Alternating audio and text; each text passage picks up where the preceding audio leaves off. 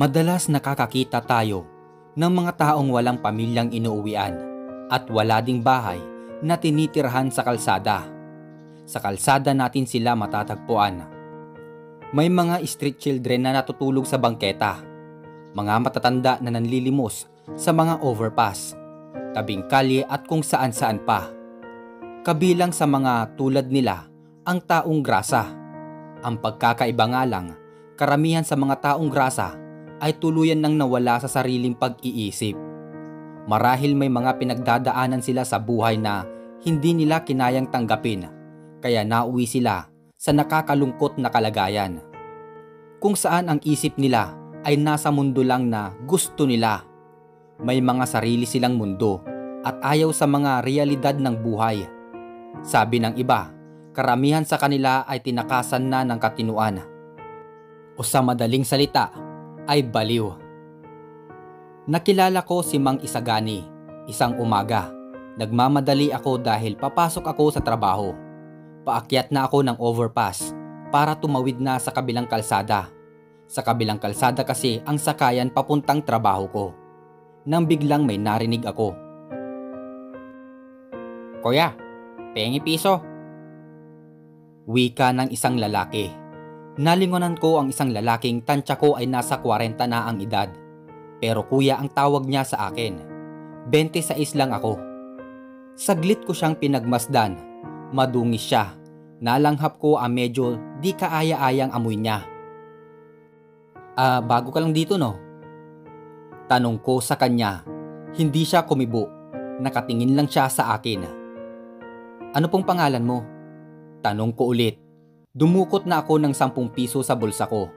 Di ko na inaasahan ang sasagot niya. Kaya inabot ko na agad sa kanya ang pera. Humakbang na ako para umakyat sa overpass. Narinig ko ang sinabi niya. Ah, isagani po. Wika niya. Nilungon ko ulit ang lalaki. Nakita kong nakasunod ang tingin niya sa akin. Araw-araw akong dumadaan sa kalye na yon Catmoon Street ang pangalan ng lugar na yon. Kabisado ko na ang bawat sulok nito. Maging ang mukha ng mga nagtitinda sa tabing kalsada. May mga palaboy din na pakalat-kalat at nanghihingi ng pera at pagkain sa mga dumaraan. Kinagabihan, habang pauwi na ako, ay hinanap ko ng mga mata ko si Mang Isagani. Ngunit hindi ko siya nakita. Naisip ko na baka napadaan lang siya sa kalye na yon. Makalipas ang ilang araw, ay muli kong nakita si Mang Isagani. Nakatayo naman siya sa hagdan, paakyat ng overpass. Napansin kong lalo siyang naging madungis. Dikit-dikit na din ang mga buhok nito sa kanyang ulo. At gulagulanit ang damit. May dumaan na isang babae sa harapan niya. Ilang hakbang na lang ang layo ko sa kanya nang bigla itong kinalabit Ate, pengi piso. Wika ni Mang Isagani. Ngunit tila nandiri sa kanya ang babae.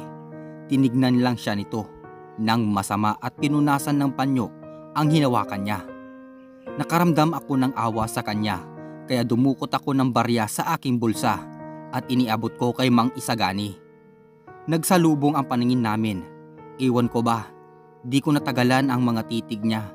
Parang may kakaiba sa mga mata niya kaya nagmamadali na akong umakyat sa overpass. Kinagabihan, mag-aalas 8 na ng gabi nang mapadaan ako sa kalye ng Katmoon. Maraming tao ng mga oras na yon. Rush hour kasi. Maraming mga estudyante ang may trabaho ang nag-uuwian. Pababa na ako sa overpass nang marinig ko ang nagsigawan. Magnanakaw! Magnanakaw! Sigaw ng isang babae. Naisip ko na na biktima siguro ng snatcher. May nagkukumpulan sa di kalayuan habang dinig ko pa din ang sigaw ng babae na magnanakaw daw. Dala ng kuryosidad ay lumapit ako sa pinagkukumpulan ng tao. Laking gulat ko na lang nang may nakita akong lalaking duguan at nakahandusay sa kalsada. Mang Isagani? Bulong ko sa sarili. Dapat makulong ang baliw na yan. Kung di ko agad nakita, wala na ang bag ko. Hawak-hawak pala niya. Wika pa nito. Salot yan, magnanakaw yan! Dagdag pa niya. Nakita ko ang sumisigaw na babae at agad nakilala. Pamilyar sa akin ang mukha niya dahil isa siya sa mga nagtitinda sa tabi ng kalsada. Hawak ang bag at sinasabing ninakaw daw ni Mang Isagani. Nagpapanggap lang sigurong taong grasa at baliw yan. Ngunit ang totoo ay magnanakaw yan. Muli pang wika ng babae. Napagtanto ko na binugbog si Mang Isagani ng taong bayan. Hanggang sa nag-alisan na ang mga tao. Nakahandusay pa din si Mang Isagani. Walang malay. Mag-aalas 9 na ng gabi nang mapatingin ako sa suot kong relo. Mag-iisang oras na pala akong nakabantay kay Mang Isagani. Iilan na lang din ang mga taong dumadaan sa mga oras na yun. Nilapitan ko siya para tingnan ang lagay niya nang bigla itong gumalaw. Ayos ka lang po ba? Tanong ko. Napatingin siya sa akin. Awang-awa ako sa kanya. Dahil maraming pasa ang kanyang mukha. Malamang masakit na masakit ang mga galos at maging ang katawan niya. Tinulungan ko siya upang makaupo. Di ko na ininda ang dumi at amoy niya Umiyak siya ng umiyak. Hindi ako magnanakaw. Sabi pa niya, sabay tulo ng mga luha niya. Naantig ako ng husto sa nakikita ko kahit di ko alam kung totoo ba o hindi ang binibintang dito. Kung hindi man totoo ang sinasabi ng babae, sobrang kaawa-awa naman si Mang Isagani. Palibasa ba ganito ang itsura ay mas madali ng husgahan may nakita akong mga karton na malapit sa basurahan, kaya pinagsama-sama ko at ginawang higaan niya. Umalis ako saglit upang ibili siya ng gamot at pagkain. Pagbalik ko ay iniabot ko sa kanya ang pagkain at gamot at tubig. Kahit di ko siya kaano-ano, magaan ang loob ko sa kanya. Ngunit kailangan ko nang makauwi kaya nagpaalam na akong muli.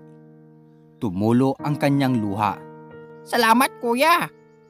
Sabi pa niya Kinabukasan ay maaga akong gumising upang magluto ng almusal. Naglalagay din ako ng sinangag, pritong hotdog at itlog sa isang tupperware. Himala, naisipan mo yatang magbaon ngayon? Tanong ng mama ko. Mula nagkatrabaho ako, di ko ugaling magbaon sapagkat sa kantin ako laging kumakain. Napangiti lang ako kay mama at dumiretso na ako sa banyo para maligo. Paglabas ko ng banyo ay humahangos na dumating ang papa ko. May bitbit siyang supot ng pandesal. Taxi driver ang papa ko sa gabi, kaya umaga na siya nakakauwi. Ah, naku Carlo, nabalitaan mo na ba yung nangyari sa Catmoon? May pinatay daw doon kagabi. Di ba doon ka dumadaan? Yung papasok ka ng trabaho? Sa tuwing umuuwi ka eh, doon ka rin dumadaan, hindi ba? Mag-iingat ka ha. Wika ng aking papa. Nakakatakot na ang lugar na yon. Hindi agad ako nakaimik. Di ko alam pero nakaramdam ako ng kaba at pumasok sa isip ko si Mang Isagani. Hindi ko na nagawa pang sagutin ang tanong ni Papa. Pagkatapos, nagbihis na ako at nagmamadali na akong umalis. Habang nasa tricycle ako, papuntang Katmon, panay ang dasal ko na sana walang nangyaring masama kay Mang Isagani.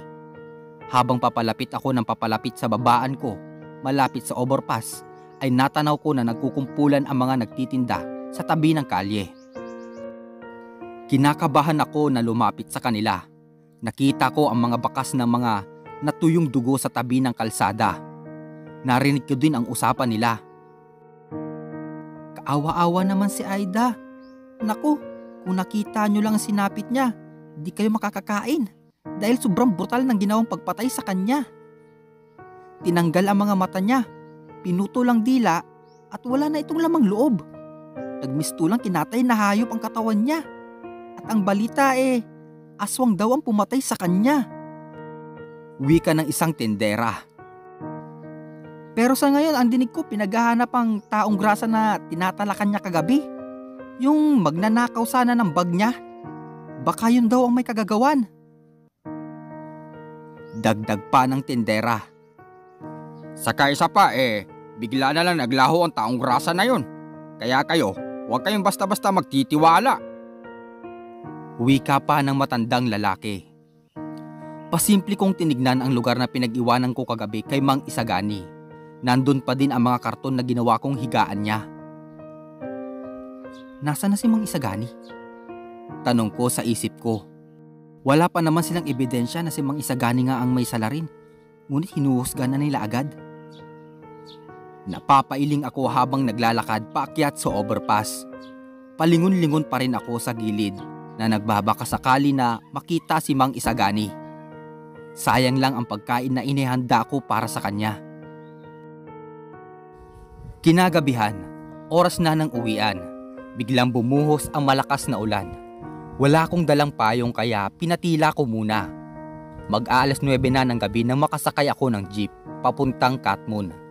Matrapik ng oras na yon. Mag-aalas 10 na ay di pa rin ako nakakarating. Sa Katmon ang sakayan ko. Umaambon pa din sa labas. Sana may tricycle pa akong masakyan pa uwi. Sa amin. Hanggang sa ilang minuto pa ang lumipas, sa wakas, nakita ko ang overpass. Manong, sa tabi lang po. Wika ko sa driver. Patakbo na akong bumaba at sumilong sa tabi. Palinga-linga ako na baka makita ko si Mang Isagani. Wala na halos tao ng mga oras na yon.